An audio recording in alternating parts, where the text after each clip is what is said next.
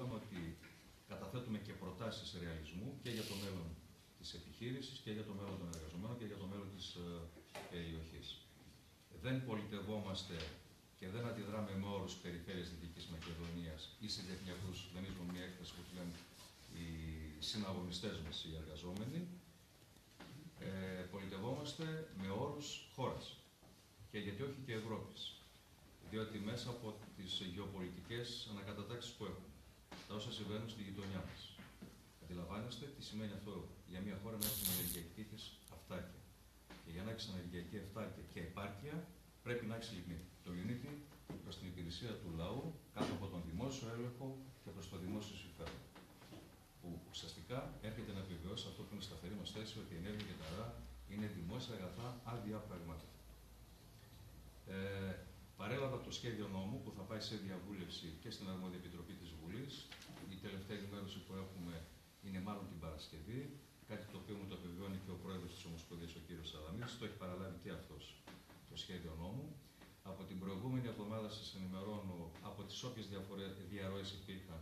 Ήδη είχα συγκροτήσει μια επιστημονική ομάδα και σε νομικό επίπεδο και οικονομικό και στα ζητήματα της ενέργειας, το να μπορέσουμε αυτές τις διαρροές να τις αξιολογούμε έτσι ώστε να είμαστε έτοιμοι. Έχουμε το σχέδιο νόμου, ήδη γίνεται η επεξεργασία και νομίζω ότι στην Αθήνα που θα υπάρξει μια συνάντηση με τον πρόεδρο της Ομοσπονδίας, νομίζω ότι θα είναι και οι, οι εκπρόσωποι του Σπάρτα, από το Προεδρείο δηλαδή, αλλά και ίσως και άλλες και άλλες ενώσει που έχει η Ομοσπονδία, γιατί δεν ξέρω, θα καθίσουμε στη λεπτομέρεια και εμείς από την πλευρά μας και από την πλευρά των εργαζομένων να έχουμε ένα κοινό πλαίσιο τεκμηρίωσης στην αρμόδια επιτροπή της Βουλής που θα συζητηθεί το σχέδιο νόμου, το οποίο είναι μη αποδεκτό από εμά. Δεν το συζητάμε γιατί το αποδεχόμαστε, το συζητάμε όμως με όρους ευθύνης σε αυτό που πάει να γίνει, στα σημεία που μπορεί να περιλαμβάνει, να καταθέτουμε και την άποψή μας και την πρόταση που θα διαφυλάξει τις εργασιακές σχέσεις, το μέλλον της περιοχής μας και να έχει ένα πλαίσιο δικαίου που δεν θα δικείται ούτε η, ούτε η εργασία, ούτε η δημόσια επιχείρηση ηλεκτρισμού, ούτε η περιοχή μας και κατά επέκταση και η χώρα. Όπως επίσης στην αρμόδια επιτροπή της Βουλής θα πάμε και με συγκεκριμένη πρόταση γιατί αντιδράμε στο ξεπούλημα των μονάδων και πώς μπορούμε να εφαρμόσουμε αυτό που είναι ζητούμενο ως Ευρωπαϊκό Δίκαιο και όχι ως απόφαση του Ευρωπαϊκού Δικαστηρίου, γιατί τα έχουμε πει χίλιες φορές και είναι γνωστά πλέον, στο πώς μπορεί να υπάρξει η ισορροπία μεταξύ παραγωγής και χαρτοφυλακίου και είναι μια ρεαλιστική πρόταση την οποία την έχει δώσει πάρα πολύ η Γενό και το Σωματείο Εργαζόμενοι, την είχαμε κουβεντιάσει και στη Μεγαλόπολη, από τα 17 εκατομμύρια τεροβατόρε, τα 7 εκατομμύρια περίπου που είναι το 40% είναι τόσες και οι ανάγκες της ενεργοβόρου, της βαριάς βιομηχανίας της χώρας. Άρα λοιπόν, μένοντας τα εργοστάσια στη ΔΕΗ στον ελληνικό λαό, με απευθεία συμβόλαια με τη βαριά βιομηχανία, μπορούμε να πετύχουμε την αποεπένδυση του 40% της λιγνητικής παραγωγής για τη που παράγει λιγνητική ενέργεια. Αυτή την πρόταση εμείς την πιστεύουμε, είναι απόλυτα τεκμηριωμένη, απόλυτα δίκαιη και αν θέλετε απαντάει και στα ζητήματα που είναι και το ζητούμενο της παραγωγικής ανασυγκρότησης της χώρας. Διότι χωρίς ενέργεια, παραγωγική ανασυγκρότηση δεν μπορείς να κάνεις. Βαριά βιομηχανία, χωρίς να έχει διασφαλισμένα συμβόλαια ενέργειας, δεν μπορεί να είναι στο διεθνή ανταγωνισμό. Άρα δίνουμε πολλαπλές λύσεις. Ούτε κάποιοι να μας πούν κρατικιστές και διάλακτου, διότι δίνουμε λύσεις και στον ιδιωτικό τομέα της οικονομίας με αυτό που προτείνουν οι εργαζόμενοι και εμείς, και για την παραγωγική ανασυγκρότηση της χώρας και επιτέλους να υπάρξει και ένα πλαίσιο κανονιστικό, ρυθμιστικό, που δεν θα λειτουργούν όλα εις βάρος τόσα χρόνια που λειτουργήσαν της ΔΕΗ, διότι καταδύσαμε να έχουμε επιχειρηματίες κρατικοδίαιτου εις βάρος της δημόσιας επιχείρησης ηλεκτρισμού, αλλά και γενικότερα του ελληνικού λαού και γι' αυτό φτάσαμε εδώ που φτάσαμε με αυτά τα χρέη. Λοιπόν, ε, ξεκαθαρίζουμε ότι εμείς τον αγώνα θα τον πάμε μέχρι τέλους, να αποτρέψουμε αυτό το έγκλημα.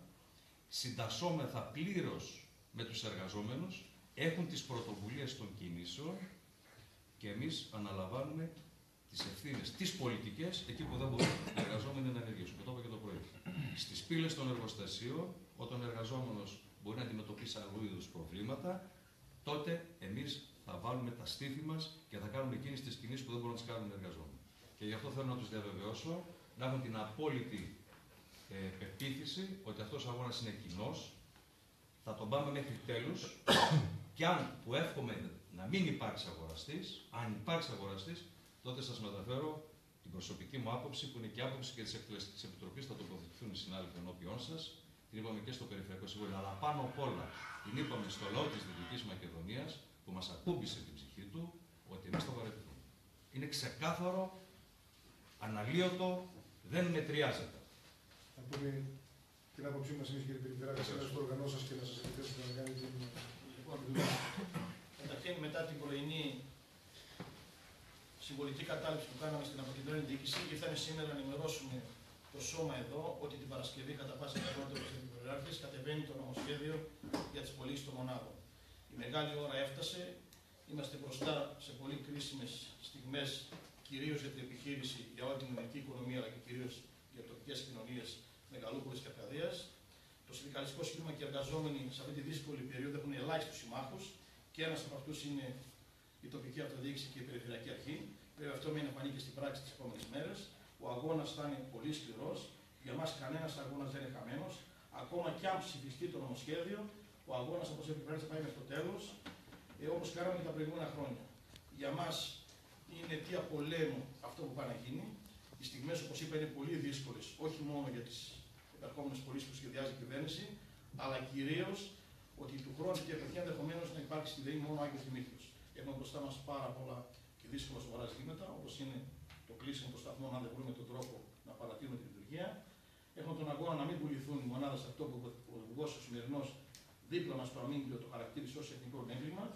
Και όλοι μαζί, εγώ είμαι αισιόδοξος, αν ενώσουμε τις δυνάμεις και κάνουμε συντονισμένα Ομοσπονδία, Συνδικάτα, Περιφέρεια και όσοι άλλοι μαζί μας, να αποτρέψουμε αυτό που να γίνει και ακόμα να μην περάσει από τη Βουλή. Και θέλω να κάνω και μια πρόταση εδώ, μια και δεν είμαστε και εμείς στην Αθήνα και θα είστε, από ό,τι γνωρίζω, έχεις ένα συνέδριο Κέρκεν. Μπορεί να γίνει μια σύσκεψη Τετάρτη Πέμπτη του συντονιστικού, ώστε να λάβουμε από κοινού τις αποφάσεις. Γιατί οι μεγάλες μας θέλω να θέλουμε να όλοι μαζί. Και μάλιστα υπάρχει και μια δρομολογούμε να γίνει και μια κοινή συνέντευξη τύπου που μιλήσαμε με τον κύριο Αδαμίδη και την Παρασκευή που θα γίνει κατάληψη της Καλκοποδίλη θα είναι το πρωί. Εγώ έχω μια συνάντηση μαζί του 11 ώρα. Μπορούν να γίνει την Πέμπτη απόγευμα, θα λέγεται σε κάποια νεκρή θα την καθορίσουμε. Να, να βρεθούμε στην Αθήνα, μια και θα είμαστε, για να γίνει μια σύσκεψη του συντονιστικού οργάνου. Όπου εκεί θα λάβουμε σημαντικές αποφάσεις.